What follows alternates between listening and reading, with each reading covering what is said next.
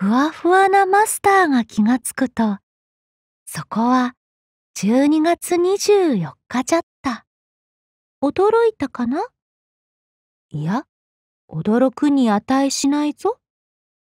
たとえバレンタインでもクリスマスが勝つ時がある。そんなファンタジーがあっても良いと思う。まだまだ肌寒いサンタなのであった。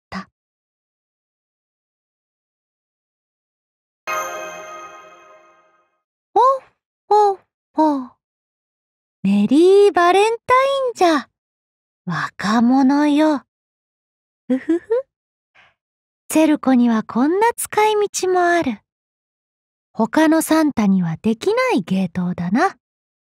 元気にしていたか？マスター。クリスマスでは世話になったな。24日はとても大変だった。一日で世界中の田舎町を回ったのだから。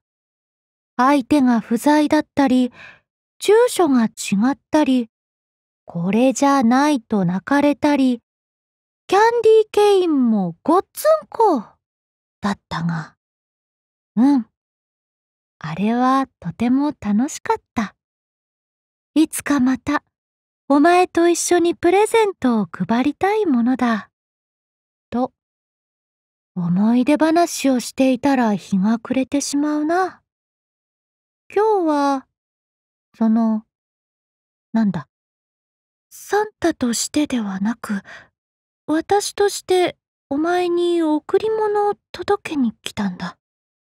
クリスマスの日、一つだけこっそり取り置きしていたものなんだが、喜んでもらえるだろうか。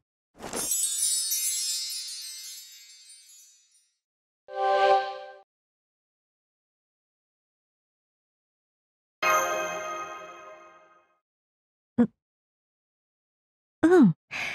こうして直に渡すと、とても顔が熱いのだな。また一つ勉強になった。落ち着かないので、今回限りにしたいところだが、年頃の男子にとって、ホールケーキを一人で食べるのは最大の贅沢と聞いた。なので、満面の笑顔でほっぺたを膨らませるがいい。といい夢を見られるはずだ。そういうわけで私は失礼する。アルテラサンタは地球上では3ターンしかいられないんだ。あそういえばそうだった。お前は賢いな。そして優しい。うん。では私も少しいただくとしよう。きっと美味しいぞ。味は保証する。この私が選び取った一品だからな。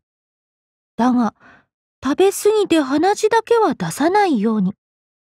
経験者は語る。だぞ。